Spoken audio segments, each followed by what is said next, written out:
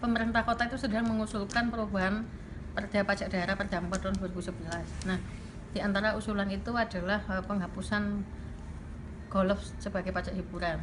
Kemudian ada juga usulan penurunan pajak hiburan dari 50% menjadi 20%. Nah, ini yang kemudian uh, pansus menilai masih membutuhkan kajian lebih lanjut.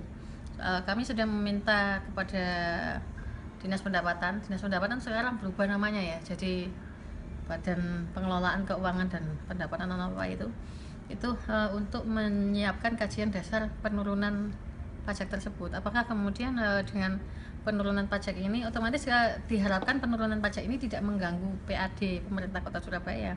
Karena uh, karena misalkan dianalogikan saja pada tahun 2016 ada 100 miliar pajak dari sektor hiburan maka kita berandai-andai ketika pajaknya ini diturunkan menjadi 20% bagaimana caranya mencapai dengan uh, jumlah kumulatif